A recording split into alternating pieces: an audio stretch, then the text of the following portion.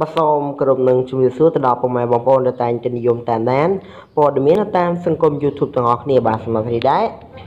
ខ្ញុំបានមានអត្ថបទព័ត៌មានមួយសម្រាប់ចែកជូនបងប្អូនទស្សនាកំសាន្តដែលមានចំណងជើងថាកូនកើតភ្លាមពិនិត្យសពគ្រប់បើមានស្នាមទាំងនេះប្រញាប់បាទប្រាប់ពេទ្យភ្លាមប្រយ័ត្នស្ដាយក្រោយបាទមុននឹងបងប្អូនចូលទៅតាមដានទស្សនាសូមបងប្អូនកុំភ្លេចចុច Subscribe Like និង Share ដើម្បីទទួលបានព័ត៌មានថ្មីៗពី Channel របស់ខ្ញុំបាទ បាទទីរដែលកើតមកភ្លាមម្ដាយឪពុកត្រូវតែបាទរាប់ដៃជើង និងពិនិត្យសពគ្រប់ក្រែងមានបញ្ហាកើតឡើងប៉ុន្តែបាទស្លាកស្នាមខ្លះមិនទាន់ដឹងក្រោយពេលកាត់ទេលោះចម្រើនវ័យបន្តិចទៅលឹបបាទសំទោទៅលេចចេញមកដែលតម្រូវឲ្យម្ដាយឪពុកទៅតាមដានទៀតជាស្ដាយស្នាមក្រហមដែល គ្រប់បាទគ្នាច្រើនហៅថាជាបាទខ្នៅនោះពេលខ្លះអាចមានផលប៉ះពាល់ប្រសិនបើមិនបានព្យាបាលទាន់ពេលវេលាព្រោះវាអាចជាសរសៃឈាមកកក្រៅសាច់បាទតាមស្ត្រីមួយរូបដែលមានកូនកើតស្នាមនេះបានសរសេររៀបរាប់ក្រោយជួបពេទ្យថា ដឹងដំណឹងសម្រាប់ម៉ាក់និងលោកប៉ាថ្ងៃនេះសូមជូនដំណឹងទៅរកនឹងជំងឺដែលកូនប្រុសរបស់ខ្ញុំកំពុងតែព្យាបាលនិងមានការណែនាំពីខាងក្រុមគ្រូពេទ្យមន្ទីរពេទ្យគុណភ័ក្របុផាដោយដែលអ្នកទាំងអស់គ្នាបាទបានឃើញរូបដែលខ្ញុំបានបង្ហោះនេះហើយវាបានកើតនៅលើខ្លួនកូនប្រុសរបស់ខ្ញុំចាប់តាំងពីកំណើតមកហើយពេលដំបងខ្ញុំគិតថាវាជាស្នាម បាទខ្មៅឬដៅដែលចាស់ចាស់ចំនួនយាយខ្ញុំគាត់ថាមកពីម្ដាយគាត់មុនស្រឡាញ់កូនទៅដៅស្នាមនេះលើខ្លួនកូនដើម្បីស្រួលចំណាំថាជាកូនខ្លួនជាតិមុនបាទប៉ុន្តែតាមដែលខ្ញុំដឹងបាទ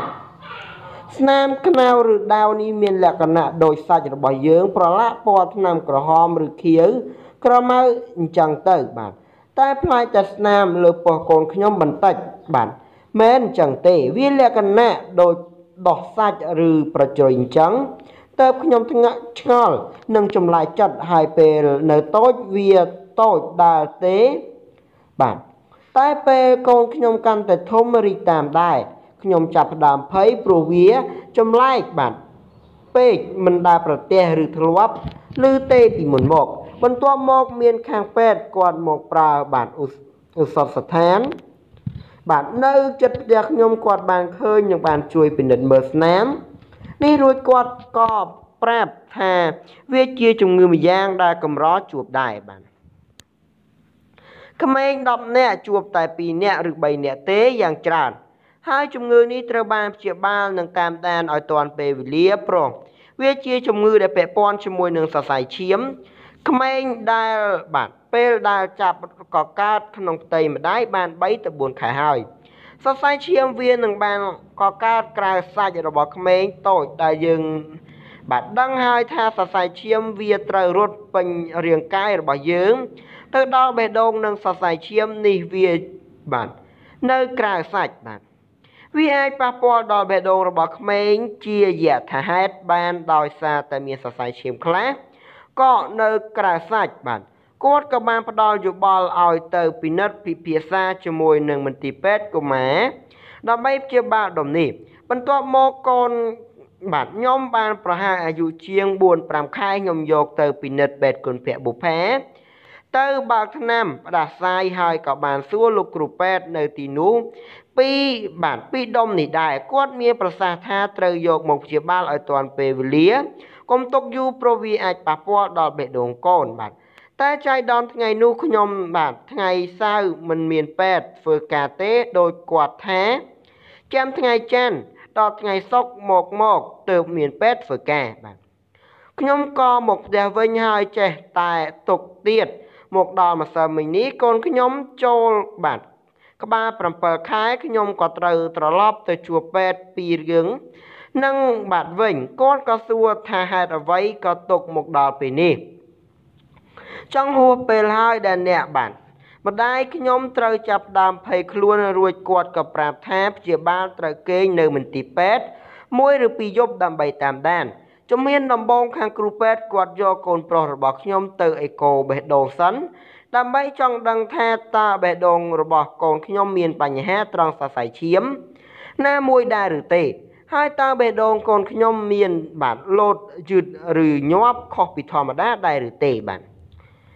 បន្ទាប់ពីពិនិត្យរួចរាល់ពេលល្ងាចគាត់ឲ្យថ្នាំញ៉ាំដើម្បីព្យាបាលថ្នាំនេះអាចធ្វើឲ្យជីពចរកូនខ្ញុំប្រែប្រួលទៅជាយឺតឬលឿនបាន ជាទូទៅពីជីពចរត្រូវលោតបាទ120ទៅ128ដងក្នុងមួយវិនាទីបើសិនជា លើសឬខ្វះពីចំនួននេះត្រូវបានប្រាប់គ្រូពេទ្យជាបន្ទាន់ដូចនេះខ្ញុំត្រូវតែនៅស្ទង់ជីពចរកូនខ្ញុំ1ម៉ោងម្ដងយ៉ាងតិចបាទពេលនៅមន្ទីរពេទ្យមានបងប្រុសម្នាក់ដែលកូនគាត់គេងនៅបន្ទប់នឹងដែរគាត់បានប្រាប់ថាកូនគាត់ក៏ធ្លាប់ មានជំងឺរីដែរហើយដំបងក៏ប្រើថ្នាំចឹងដែរតែពេលតើប្រើប្រាស់ថ្នាំកូនគាត់ចាប់ដើមដកដង្ហើមបាទ បាទចាប់ដើមដង្ហក់ថប់ដង្ហើមដកដង្ហើមហត់គ្រូគ្រូពេទ្យក៏បញ្ជាក់ការព្យាបាលដោយប្រើថ្នាំជំនួសដោយការវះកាត់វិញទើបកូនគាត់ជាមកដល់សពថ្ងៃបាទតែត្រូវចំណាយពេលវេលាយូរណាស់ទៅជាសះស្បើយសម្រាប់កូនខ្ញុំបាទឥឡូវនេះកំពុងតែប្រើថ្នាំសម្រាប់ព្យាបាលដូចនេះទៅនាងខ្ញុំ ចែករំលែកជូនអ្នកទាំងអស់គ្នា បើករណីឃើញមានដុំតូចបាទតូចកូនខ្ញុំអញ្ចឹងឲ្យពួកគាត់យកក្មេងទៅពេទ្យកុមារកាន់តែឆាប់កាន់តែល្អជៀសវាងបានមានបញ្ហាកើតលើក្មេងម្ដាយណែមិនស្រឡាញ់កូនខំបង្កើតមកបាទវិនឹងបាត់បង់ជីវិតខ្លួនឯងហើយបាទបាទព័ត៌មាននេះក៏មានតែប៉ុណ្ណឹងសូមអរគុណនិងសូមគោរពលា